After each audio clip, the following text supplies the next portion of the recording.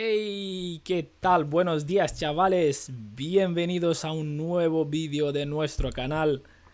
Hoy vamos a darle caña con nuestro test 23 48 de los test de CAP de mercancías 2023. Como bien sabéis, aquí tenemos los test más actualizados y las preguntas garantizadas que salen en el examen de CAP de mercancías. ¿Vale?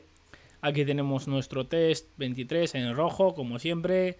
Y lo vamos a poner en verde o, si digo alguna bobada, lo vamos a poner en amarillo. Pero no pasa nada, va a ser aprobado sí o sí. Vale, eh, para la persona que no me acuerdo su nombre, eh, que me pidió de quitarle el clic al mouse, pues sí, le he quitado lo que es el sonido, ¿vale? Así que espero que estés contento, compañero. Bien. Vamos a darle caña y vamos a empezar con la pregunta número uno.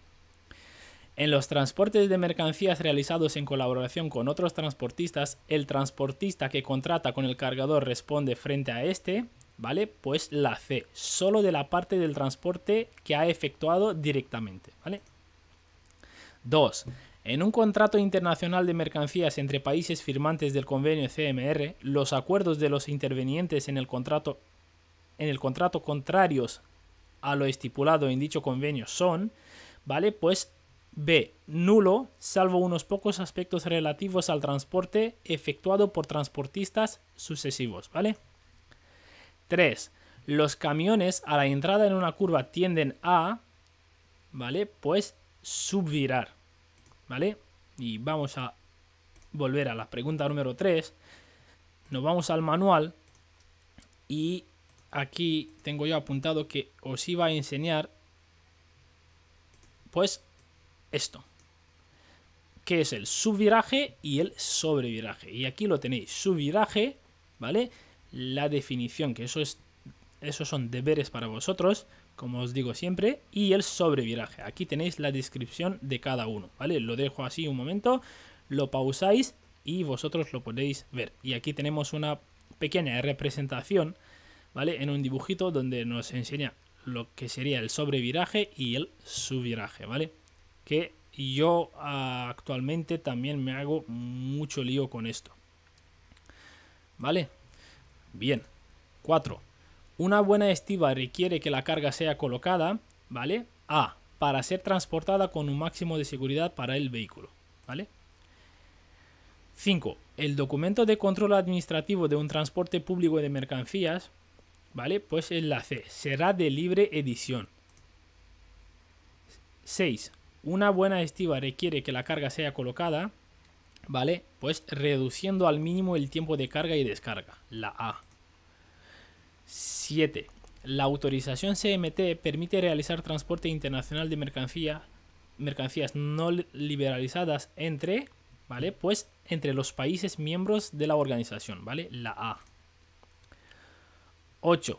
¿Qué fuerza tiene que estar dentro del círculo de CAM para que el camión pueda ser dirigido sin problemas? ¿Vale? Pues la A, la fuerza de frenado, ¿vale? Eso cuando nos habla del círculo de CAM hace, la mayoría de las veces hace referencia al sistema de frenado, ¿vale? 9. En un contrato de transporte sujeto al convenio SMR, se pueden exigir intereses sobre el importe de la indemnización que debe pagar el transportista por pérdida o deterioro de las mercancías. ¿Vale? Pues sí, a partir del día en que se le formule reclamación escrita, ¿vale? La A. 10. ¿Qué nos permite el sistema GPS en el transporte? ¿Vale? Pues conocer en todo momento la posición de los vehículos, ¿vale? La C. 11. Puede haber excepciones a la modulación de los peajes sobre vehículos pesados, sí, ¿vale? Pues sí, afecta a la coherencia del sistema de peaje, no es viable en la práctica y puede dar lugar a una derivación de los vehículos más contaminantes, ¿vale? O sea, tanto la A, la B y la C son correctas. O sea, en este caso la respuesta correcta es la D, que todas son correctas. 12. Cuando se habla de apoyos fuertes, ¿vale? Pues, perdón, nos está preguntando, ¿cuándo se habla de apoyos fuertes? ¿Vale? Y es la C. cuando la inclinación que alcanza el camión es la máxima posible o cercana a la máxima, ¿vale? Y aquí vamos a darnos un poquito la vuelta otra vez. Nos vamos pues a la misma página y aquí tenemos eh, la definición o la descripción de lo que sería el apoyo, ¿vale? Y aquí nos dice, se produce apoyo cuando acaba el balanceo generado en la carrocería al tomar una curva y se estabiliza la velocidad con el radio de la calzada, ¿vale? El apoyo es por tanto una fase por la que por la que pasa el vehículo al tomar una curva, ¿vale? Y aquí tenemos pues términos relacionados con el apoyo. Y aquí son los tipos de apoyo que tenemos, que son apoyos largos con su descripción, apoyo fuerte, cambio de apoyo y aquí nos dice otra pequeña frase que dice cuando el intervalo entre girar la dirección y el apoyo es grande se dice que un camión tarda en apoyarse, ¿vale? Pues aquí si yo no, no lo he leído bien o no me habéis entendido, pues aquí lo tenéis para que lo leáis vosotros. Deberes, deberes, que eso... Eso no, no sé qué quería decir, pero son deberes. ¿Vale? Seguimos. 13. ¿Cuántas clases de vehículos caloríficos se distinguen? ¿Vale? Pues 4, la B. 14. ¿Qué transporte permite realizar la autorización bilateral de transporte internacional de mercancías? ¿Vale? Pues la C, transporte con destino u origen en un determinado país o en tránsito por su territorio, ¿vale? 15. Cada vez que se, que se realiza un cambio durante la subida de una pendiente, existe un instante en el que el camión pierde potencia. ¿En qué se traducen estas pérdidas de potencia? ¿Vale? Pues en una reducción de velocidad, ¿vale? La B. 16. La fuerza que opone resistencia al movimiento entre la superficie del neumático de un camión y la calzada se denomina, ¿vale? Pues resistencia por rozamiento, ¿vale? Que es la resistencia que eh, el asfalto opone al neumático o el neumático opone al asfalto, ¿vale? Es el rozamiento, no sé si lo expliqué un poco como el culo, pero bueno, pues eso sería. 17. La Junta General de una sociedad anónima deberá ser convocada al menos ¿vale? Pues un mes antes de la fecha fijada para su celebración, ¿vale? La B. 18. ¿Cuál de los siguientes transportes internacionales de mercancías entre países integrados en el sistema de autorizaciones CMT está liberalizado? ¿Vale? Pues los transportes de vehículos accidentados o averiados, ¿vale? La A. 19. El transporte de mercancías realizado por una administración pública en el ámbito de su funcionamiento interno para atender necesidades de desplazamiento derivadas de su actividad administrativa se considera, ¿vale? Pues transporte oficial, ¿vale? Y hemos hablado en otros test que todo lo que tiende a ser del Estado, bomberos, tal, pues eso sería eh, transporte oficial. 20.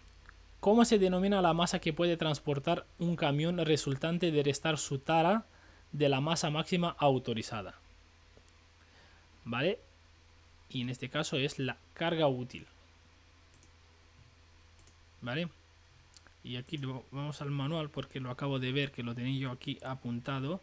Nos vamos a la página 16 y a ver si me acuerdo que quería enseñaros yo en la página 16.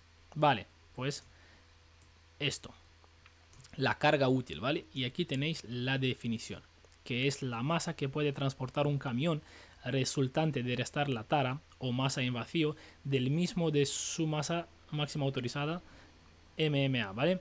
En conjuntos de vehículos con remolque o semi-remolque, la carga útil es la masa resultante de restar la tara de los vehículos a la masa máxima autorizada del conjunto MMS, ¿vale? Y nos pone un ejemplo. Un vehículo de dos ejes con una masa máxima autorizada de 18 toneladas y una tara de 8 toneladas tiene una carga útil de 10 toneladas, ¿vale? Pues, ¿qué nos quiere decir? Que un vehículo tiene una masa máxima autorizada de 18 toneladas y, el vehículo, pues, eh, su peso total sin ninguna carga es de 8 toneladas. Pues en este caso la carga útil será de 10 toneladas, ¿vale? Pues 10 más 8 son 18. ¿Vale? Si nosotros, por ejemplo, en este vehículo le cargamos 10 toneladas y media, pues ya nos estamos ya tenemos sobrepeso. O sea, y si nos paran nos pueden, nos pueden multar. Bien, vamos a seguir. 21. Un incremento de la altura del centro de gravedad del vehículo supone, ¿vale? Pues una mayor probabilidad, unas mayores probabilidades de que se produzca un vuelco, ¿vale? B. O sea, cuanto más alto sea un vehículo, más probabilidad tiene de que... Más inestable está, para, para hacerlo más fácil. 22. Los vehículos que realizan un transporte de animales vivos deben llevar a bordo la autorización del transporte para esa actividad, nos está preguntando. Y aquí tenemos pues eh, A, solo en caso de transporte de equinos, B, solo cuando el transporte vaya a durar más de 12 horas y, y C, solo para el caso de transporte de animales enfermos, ¿vale? Y tenemos la D donde nos pone que todas son incorrectas.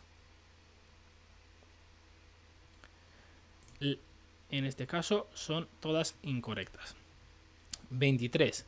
Si en un contrato de transporte se ha pactado el día, pero no la hora, bastará con el vehículo con el vehículo esté a disposición del cargador antes de las, ¿vale? Pues 6 de la tarde, ¿vale?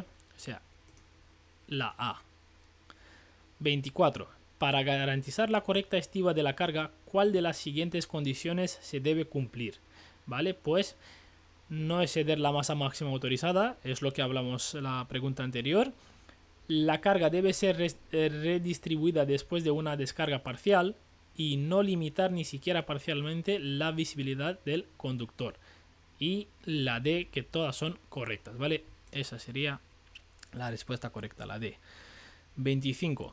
En comparación con los transportes por cuenta propia, los vehículos de transporte público de mercancías tienen, ¿vale? Pues un menor nivel de actividad, una menor regularidad en su uso y el porcentaje de kilómetros recorridos en vacíos menos reducido, ¿vale?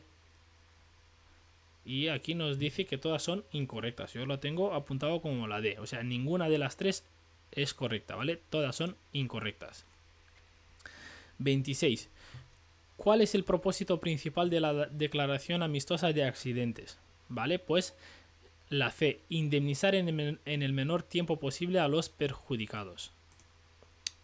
27. ¿Qué resistencias intervienen en el movimiento de los vehículos?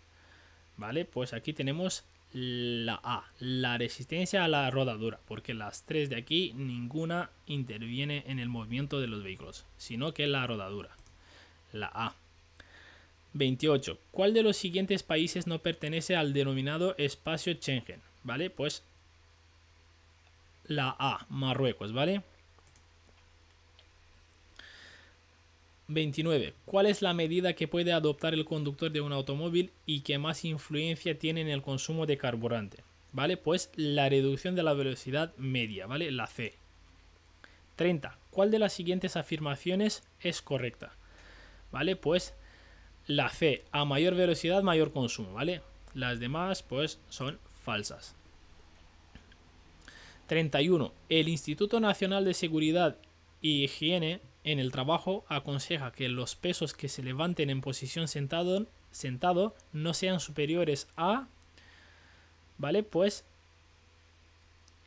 a 5 kilos, ¿vale? A 5 kilogramos, ¿vale? O sea, eso sería en posición sentado. Y lo hemos hablado muchas veces que en posición de pie para los hombres serían 25 y para las mujeres 15, ¿vale? Lo tenemos aquí. 32. ¿Cuál de los siguientes elementos no es un tipo de ralentizador? ¿Vale? Pues en este caso sería la D, el ralentizador termodinámico. En cuanto a los tres, el ralentizador, el hidráulico, hidrodinámico, y eléctrico son eh, ralentizadores. ¿Vale? El, el termodinámico no lo es, o sea, la D. 33. ¿Qué bebida no es aconsejable consumir durante la conducción? ¿Vale? Pues bebidas demasiado gasificadas, ¿vale? La B. 34. Los accidentes en los que están implicados vehículos pesados de transporte de mercancías, ¿vale? Pues suelen tener más gravedad para las personas y generan más pérdidas económicas, ¿vale? La A. 35.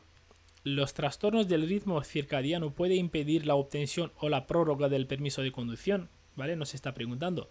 Y la respuesta correcta es la C. Sí, cuando suponga en riesgo para la actividad de conducir, ¿vale? Por eso nosotros hacemos una revisión médica antes de eh, apuntarnos a sacarnos pues cualquier carne de conducir. 36. ¿Tiene obligación la empresa de conservar las hojas de registro de tacógrafo correspondientes a la actividad de sus conductores? ¿Vale? Pues sí, durante un año, ¿vale? La B. 37. Según la normativa laboral española, la jornada diaria de los conductores profesionales, ¿vale? Pues no podrá superar las 12 horas, ¿vale? La B. 38. Dentro de los sistemas de transporte inteligente se encuentran los, denominados I2V. ¿Cuál es su funcionalidad característica? ¿Vale? Y es la A. Establecer comunicación entre las infraestructuras y los vehículos que circulan por ella. ¿Vale? 39. Además de reducir el consumo de carburante, realizar una conducción económica presenta otras ventajas. Señale la, la respuesta correcta. ¿Vale? Pues se prolonga la vida del motor. La B. 40. ¿Cuál es la finalidad de la ergonomía en el ámbito de trabajo? ¿Vale? Pues es la C, incrementar el bienestar del trabajador y el rendimiento del mismo, ¿vale? Eso sería lo que es la ergonomía. 41. El consumo de combustible depende del estilo de conducción, ¿vale? Nos está preguntando. Y digo, por supuesto, sí, y es un factor muy importante, ¿vale? La B.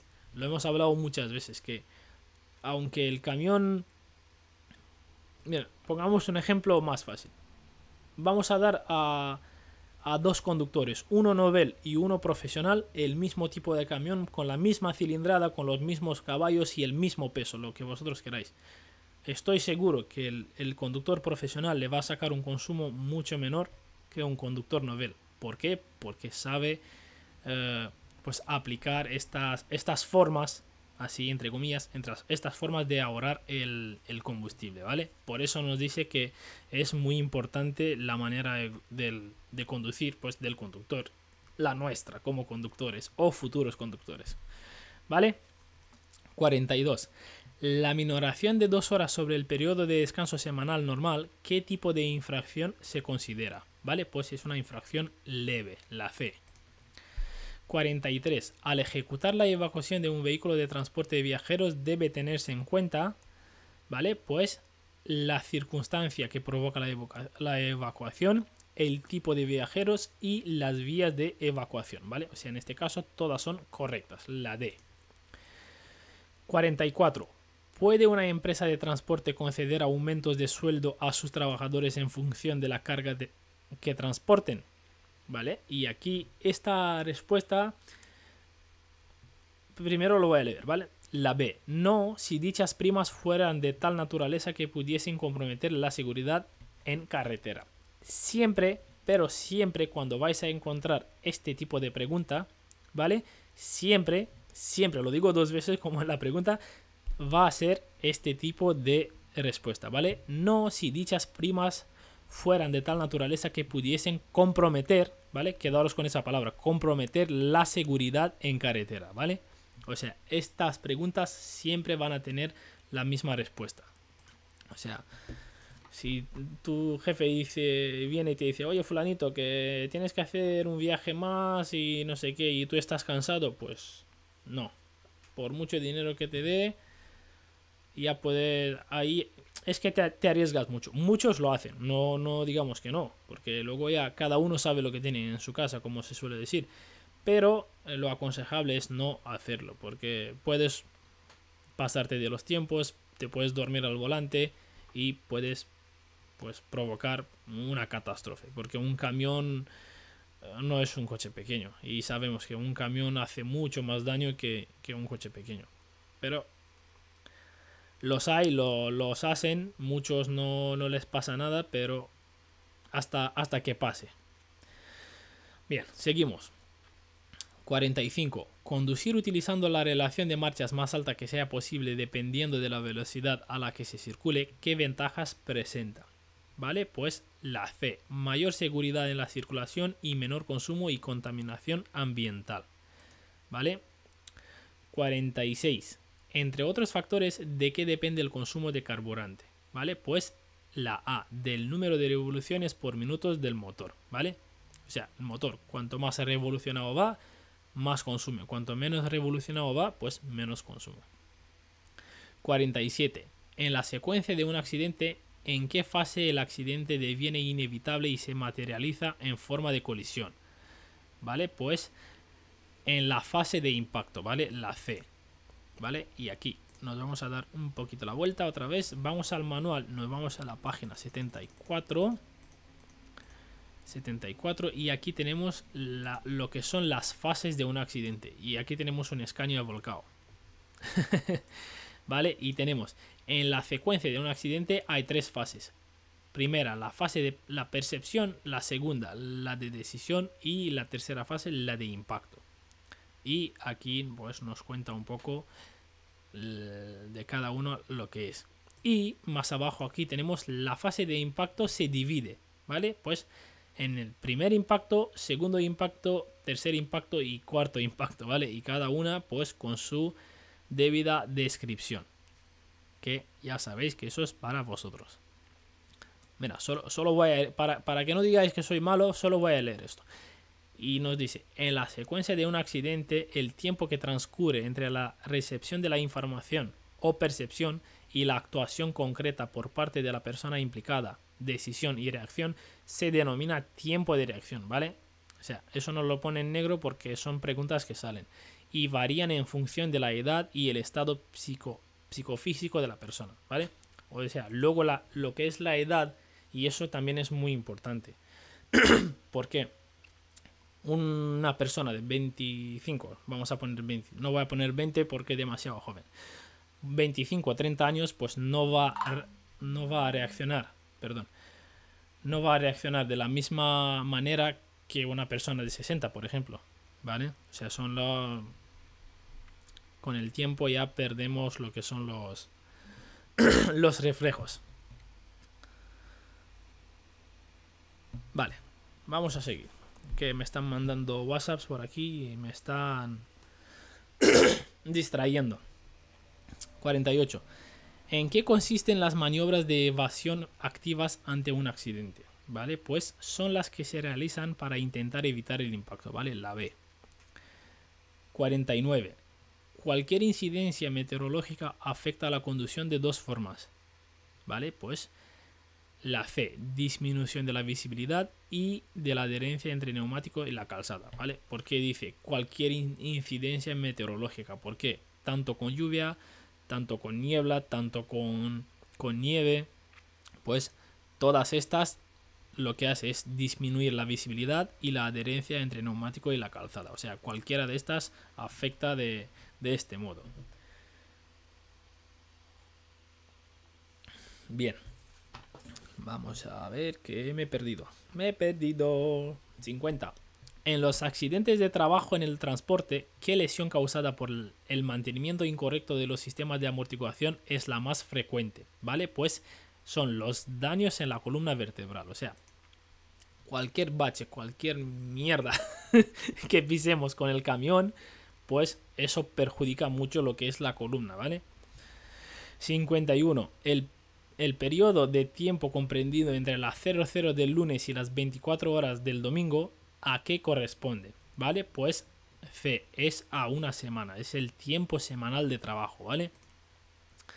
52. ¿Qué suele ocurrir con la conducción en entornos conocidos con pocos estímulos? ¿Vale? Pues se atiende a dirigir una parte de la atención a temas ajenos a la conducción, ¿vale? La C. 53. ¿Cómo puede denominarse la existencia de una avería mecánica durante un transporte?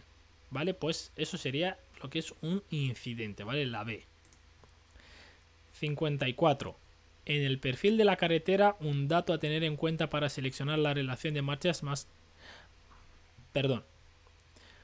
Repito la pregunta.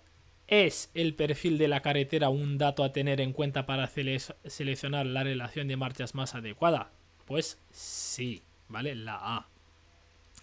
55. Señale la afirmación incorrecta, ¿vale? Pues en este caso sería la C, la más cortita. Normalmente suele ser la más larga, pero en este caso es la más cortita, ¿vale? Y nos dice así, la, de la declaración amistosa de accidente debe ser firmada por un agente de orden, ¿vale? Eso es incorrecto. O sea, 56. Perdón, que me acabo de acordar. Aquí nos dice que la declaración amistosa debe ser firmada por un agente de orden, ¿vale? Eso es incorrecto. La declaración amistosa de accidente se debe firmar por ambos conductores o los tres, los cuatro. Si hay un accidente en cadena, pues esas declaraciones deben ser firmadas por todos los que habían participado en dicho accidente, ¿vale? Ahora sí que me he quedado a gusto porque lo he explicado bien. 56. Las infracciones administrativas muy graves de la normativa sobre derechos y libertades de los extranjeros cometidas por los transportistas, salvo la referida a la falta de comprobación de la validez de pasaportes, serán sancionadas con... Vaya mierda, pregunta. Pues multa de 10.001 euro a 100.000 euros, ¿vale? La B. 57. Si durante el transporte se produce el reventón de un neumático, ¿vale? Pues los viajeros procurarán no descender del vehículo, ¿vale? La A. 58. ¿Qué es una luxación? ¿Vale? Pues es la salida del hueso de su articulación. La A, ¿vale? 59. A efectos de la ley de responsabilidad civil, civil y seguro en la circulación de vehículos a motor, un vehículo se considera un con estacionamiento habitual en España si ¿vale? Pues si su matrícula es española, ¿vale? Eso es fácil. 60. Con un consumo igual, el nivel de alcohol en sangre que se puede alcanzar es más elevado, ¿vale? Pues en las personas de más edad, ¿vale? La B. A ver, la B.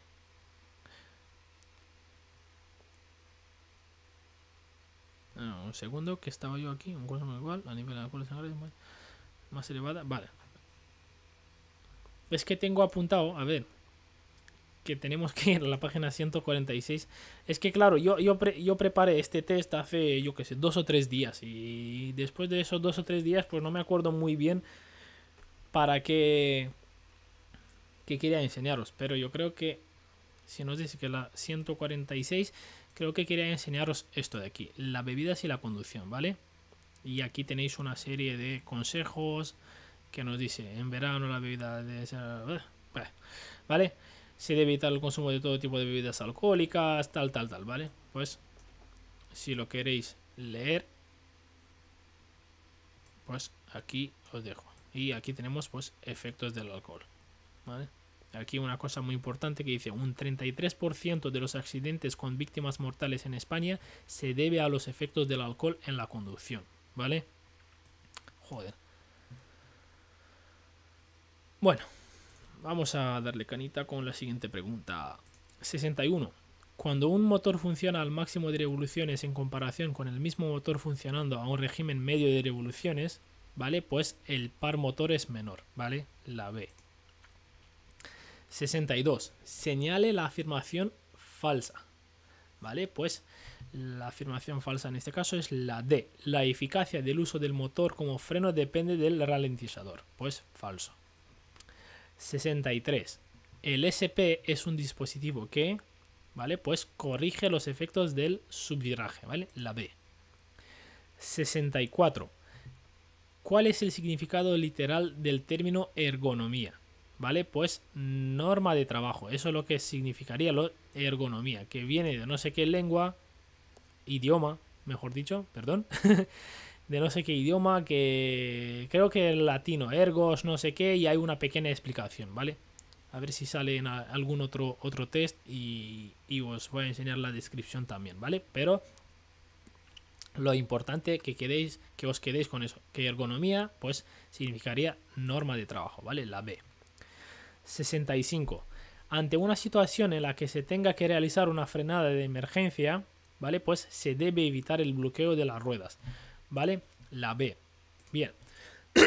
y ahora os vais a preguntar por qué nos dice eso, que se debe evitar el bloqueo de las ruedas cuando existe el, sistema, pues el, el ABS, ¿vale? Que no. que evita automáticamente que se bloqueen las ruedas. Pues esta pregunta todavía existe porque todavía existen camiones y coches y todo eso que no disponen de ese sistema ABS.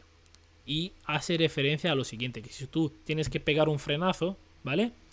Pues el coche que no disponga de este sistema ABS, pues se les bloquearán las ruedas. Pues, ¿qué pasa en ese caso? Pues nosotros tenemos que soltar el freno hasta que las ruedas vuelvan a girar, ¿vale? Eso, a eso hace, hace referencia, porque todavía hay coches y camiones y autobuses y lo que queráis, automóviles, mejor dicho, que eh, no disponen del sistema ABS. Y en ese caso, pues, lo tenemos que hacer nosotros, pues. Uh, con el pie, ¿vale? 66. ¿Cuál es la primera actuación que debemos realizar ante un herido en accidente de tráfico? ¿Vale? Pues averiguar, averiguar si está consciente, ¿vale? La A. 67. ¿Qué objetivo tienen los reposacabezas? ¿Vale? Pues disminuyen considerablemente la gravedad de las lesiones en el cuello y en las vértebras, ¿vale? Por eso es, por eso es muy importante. 68. Según la reglamentación social europea, los periodos de descanso semanal de un conductor que empiezan en una semana y terminan en la, siguiente, ¿vale? Pues solo se pueden computar en una de las semanas, ¿vale? La C. 69. ¿De qué depende el número de revoluciones del motor? ¿Vale? Pues de lo apretado que esté el pedal del acelerador, ¿vale? Fácil. 70. Para no aumentar el consumo de carburante, una vez arrancado un motor diésel, se deberá, ¿vale? Pues esperar a que el circuito neumático tenga presión suficiente e iniciar la marcha inmediatamente después, ¿vale? Pues necesitaría como 8 bares, ¿vale? Mínimo para, para que pueda arrancar. 71. En la declaración amistosa de accidentes se deben hacer constar las firmas de los conductores implicados en el accidente, nos está preguntando. Pues sí, ¿vale? Porque eh, anteriormente en una pregunta nos estaba diciendo que si lo tenía que firmar un agente de orden. Pues habéis visto que en esta pregunta, pues los que tienen que firmarlo son los conductores implicados en el accidente. 72. ¿En qué consiste la formación continua para la renovación de la tarjeta de cualificación del conductor? ¿Vale? Pues en superar un curso de una duración de 35 horas cada 5 años, ¿vale? O sea, los que nos estamos sacando el CAP o los que los tenemos, ¿vale? Pues a los 5 años, cuando lo renovamos, pues vamos a hacer un cursillo de 35 horas, que sería un curso de actualización del conocimiento o de lo que hemos aprendido en las 140 horas que hemos hecho eh, en el curso CAP, ¿vale? Eso sería, pues eh, imagínate que en los 5 años hay, hay cambios, hay cambios en las leyes, cambios en las normativas, en no sé qué, pues cada 5 años en, este, en estos cursos, en estas 35 horas, pues nos está actualizando la información que nosotros tenemos, ¿vale? O sea, nos está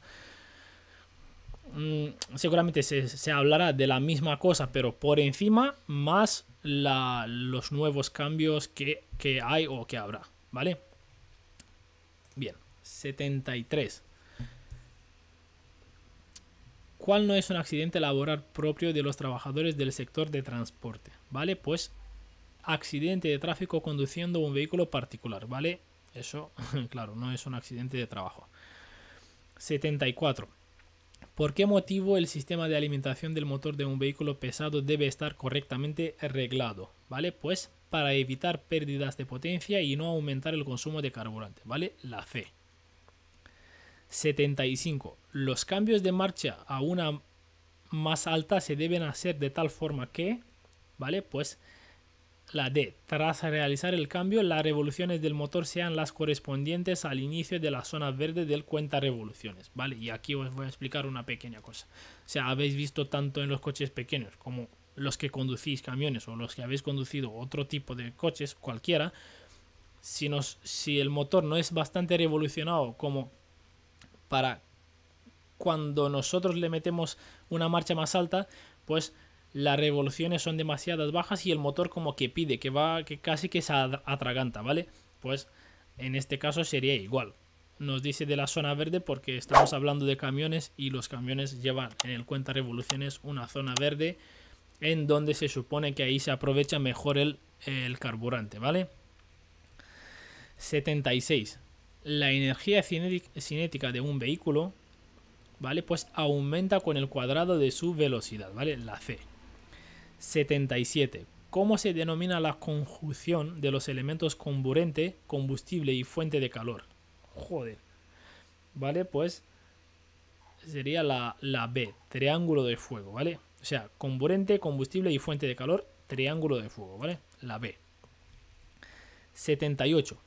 Si un motor funciona al máximo de revoluciones, pues aumenta el consumo, ¿vale? La A.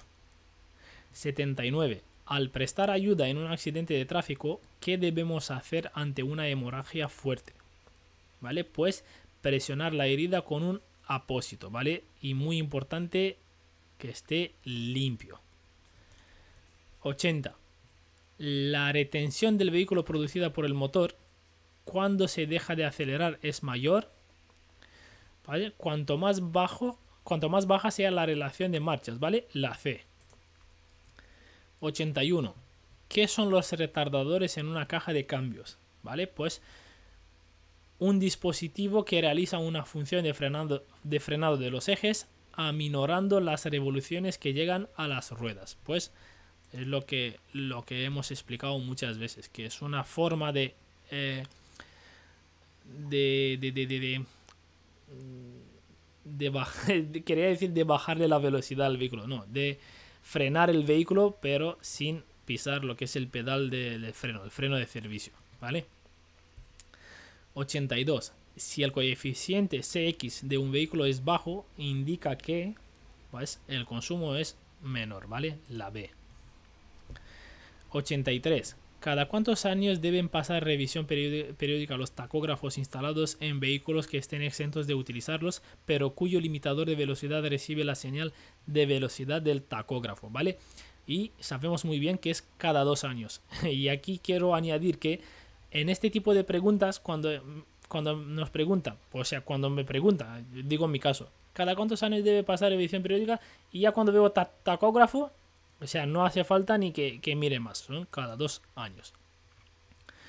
84. El sistema de frenada ABS, ¿vale? Pues eh, regula la presión hidráulica o neumática que llega a los elementos frenantes de las ruedas, ¿vale?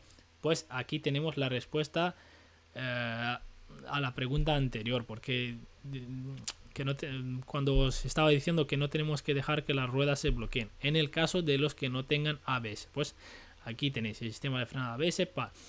Y aquí nos dice, regula la presión hidráulica o neumática. ¿Por qué? ¿Por qué esto de hidráulica o neumática? Pues, ¿por qué? Porque en los coches pequeños los frenos son hidráulicos, que van con aceite. Y en los camiones son neumáticos, que van con aire, van, van con presión de aire, ¿vale? eso sería la diferencia. Hidráulica, aceite, neumática, aire, ¿vale? 85 un kilovatio de potencia equivale a, ¿vale? Pues a 1,36 caballos de vapor. Y aquí muy importante, chicos y chicas, muy, muy importante. Ojo a esto, ¿por qué? Porque hay muchísimas personas que se hacen el lío. Y aquí tenemos, según la equivalencia que hay entre kilovatios y caballos de vapor, es que mucha gente hace se, equivocan en, esto, que un kilovatio son 1,36 caballos de vapor, ¿vale? O sea, caballos. En cuanto un caballo de vapor, caballos son 0,736 kilovatios, ¿vale? Muy importante esto, porque muchos se hacen el lío, que un... ¿Cuál es la diferencia entre un kilovatio y un caballo de vapor? ¿Vale? Pues Aquí, aquí lo tenéis por escrito y os lo he dicho y lo voy a decir otra vez. Pues un, kilovatio son 1,36 caballos de vapor y un caballo de vapor son 0,736 kilovatios. ¿Vale? O sea, quedaros con eso, hacerle una foto. no, la foto tiene que estar en vuestra mente, ¿vale? Que, que, que sepáis. Bien, 86. Ahí, aquí, ahora. ¿Con qué periodicidad hay que realizar la verificación de los extintores? ¿Vale? Pues cada tres meses. La B. 87. ¿Dónde debe anotar la nueva matrícula un conductor si cambia de un vehículo a otro y ambos tienen tacógrafo analógico? ¿Vale? Pues en el disco diagrama o hoja de registro si está homologado. Perdón. Si está homologado para ambos tacógrafos, ¿vale? Eso es muy importante. O sea, si nosotros todavía estamos conduciendo un vehículo que lleve tacógrafo analógico y nos cambiamos a otro, pues las hojas de registros tienen que ser homologadas para ambos tacógrafos, ¿vale? Si no, pues los camiones deben llevar dentro, pues cajita con discos diagrama. Pues deberíamos rellenar otra hojita con dicho disco que esté homologado para el camión, para el camión que íbamos a coger, ¿vale? Pero si están homologados para los dos, simplemente apuntamos ahí la matrícula y tal, tal, tal. Y en marcha. 88. El tacógrafo es obligatorio con carácter general, salvo en autobuses de líneas regulares con recorrido, Pues igual o inferior a 50 kilómetros. O sea, si el recorrido es igual o inferior a 50 kilómetros, están eh, obligados, ¿vale?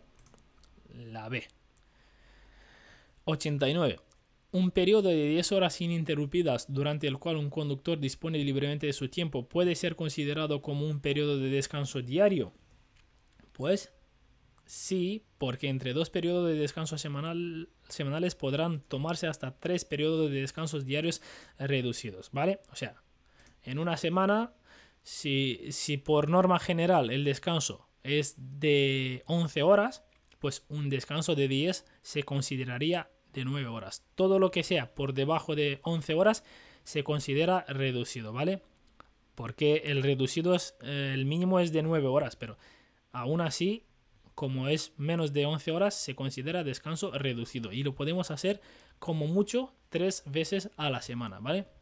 Las otras tres veces, digamos el caso que abrimos seis jornadas a la semana, pues tienen, eh, como mucho, tienen que ser 3 de 11 y 3 de 9. Lo suyo es que, que siempre sean de, de 11, pero hoy en día hay mucha explotación. Yo en el otro trabajo donde estaba, eh, cuando iba a Barcelona, pues ahí siempre hacía 9 horas, porque si, si tenía que quedarme eh, 11 horas por, porque sí, porque así quiero yo, pues a lo mejor llegaría a casa muy tarde y tampoco me interesaría pero lo suyo y los que tienen la, esa prioridad y pueden hacerlo es que lo hagan de 11 horas. Os lo digo también por qué, porque en el momento, eso me lo han dicho a mí también personas que tienen mucha, mucha más experiencia que yo.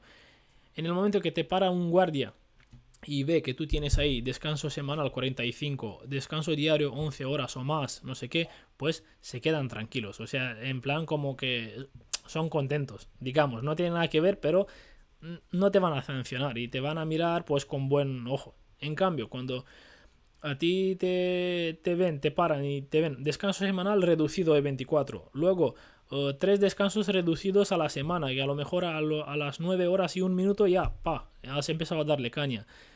Eh, o sea, si vas muy ajustado, pues eh, ahí, eh, ahí es donde se meten y te dicen, mira, sácame el ticket tal, o sácame los tickets de los últimos 28 días. Y ahí te hacen un control de la hostia. Hasta te bajan los pantalones y dice, a ver si, si llevas algo dentro.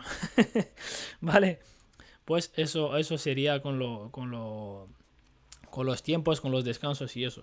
Los que tienen la, la facilidad o la... Mm, la manera de hacerlo, pues hacerlo bien, porque es bien para nosotros y bien para, para nuestro bolsillo también. vale, 90. ¿Cuántos extintores deben llevar un vehículo de transporte de mercancías de 6.000 kilogramos de masa máxima autorizado MMA? ¿Vale? Pues uno, ¿vale?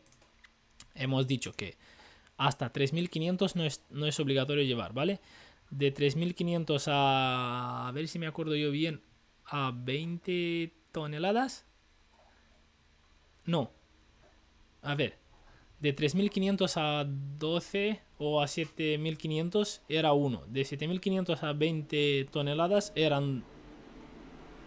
No. Olvidar eso. Olvidar eso porque que, me he hecho un lío. A ver. Ah, desde el principio. Hasta 3.500 no es obligatorio llevar extintor, ¿vale? De 3.500 a 20 toneladas es obligatorio llevar uno. Y lo que es a partir de 20 toneladas, dos. ¿Vale? Así es, es correcto, ¿vale? Que me, ha hecho, me hecho un lío. Hay tantas cosas y eso en el CAP que, llega un momento que los mezclas. Vale, 91. Al abrir la caja del tacógrafo analógico se registra una marca de apertura en la hoja de registro. ¿Vale? Pues sí, automáticamente, ¿vale? La B. 92. Para conducir un vehículo destinado al transporte privado particular de mercancías, es necesario estar en posición del certificado de aptitud profesional CAP. Pues no, ¿vale? La A. 93. ¿Qué medidas cautelares se podrán adoptar a los expedientes sancionadores seguidos contra transportistas que incumplan la obligación de tomar a cargo el extranjero transportado ilegalmente? ¿Vale? Pues aquí tenemos la D, cualquiera de los anteriores, y, las, os lo voy a leer. La suspensión de sus actividades, la inmovilización del vehículo utilizado y la prestación de fianzas, ¿vale? Cualquiera de los anteriores. 94. ¿Cuál es una medida de ahorro de carburante equivocada? ¿Vale? Pues bajar las pendientes con el motor parado, ¿vale? Eso no lo hagáis en vuestra vida. Madre mía.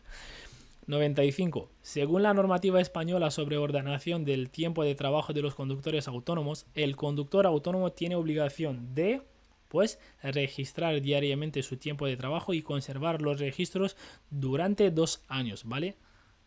Los autónomos, dos años. 96. La prevención de riesgos en el transporte es una obligación, ¿vale? Pues del empresario y también del trabajador. La B. ¿Por qué nos dice que tanto de uno como de otro? Pues el, empresario tiene que facilitar los equipos de protección individual y dar la formación y, y el trabajador las tiene que respetar, ¿vale? 97. Para el levantamiento de pesos de imposición de pie y en condiciones ideales de trabajo, la cifra máxima aconsejada para las mujeres es de, pues claro, como hemos dicho antes, de 15 kilogramos y a los hombres 25, ¿vale? 98. La energía que lleva asociada a un vehículo al estar en movimiento depende, ¿vale? Pues del cuadrado de su velocidad, ¿vale? La A. 99. ¿Qué afecta al consumo de carburante de un automóvil con motor de combustión? ¿Vale? Pues la de el mantenimiento del vehículo, las revoluciones por minuto del motor y la relación de marcha seleccionada en la caja de cambios, ¿vale? De velocidades, nos dice aquí. Esta pregunta son de las más fáciles que hay. Y la pregunta número 100. El conductor de un vehículo se aproxima a una glorieta por lo que deja de acelerar antes de llegar. ¿Es correcto su comportamiento? Pues por supuesto, sí, porque aprovecha la inercia del vehículo. Es una manera muy buena de ahorrar combustible. Chicos y chicas y señores y señoras, que voy a empezar como los del circo, ¿vale? Aquí tenemos nuestro test número 23. Nos queda uno y vamos por la mitad. O sea, nos quedan otras 25, otros 25 test por subir, ¿vale? Y le damos a finalizar, ningún fallo, está perfecto. Vale, pues hasta aquí hemos llegado, hemos finalizado nuestro test. Por supuesto, eh, darle un buen like, compartirlo, que es muy importante compartir esto, este tipo de contenido a vuestros amigos, conocidos o yo que sé. Si me queréis hacer el favor de compartirlo así porque sí, pues os lo agradecería muchísimo, ¿vale? Pues nos vamos a ver en el siguiente test. Estudiar bien, mucha suerte para los que tengáis o o vais a tener exámenes. Espero que lo aprobéis con, con, grande o con pequeña nota, pero lo importante es que lo aprobéis, ¿vale? Y nos vamos a ver en el siguiente vídeo. Adiós.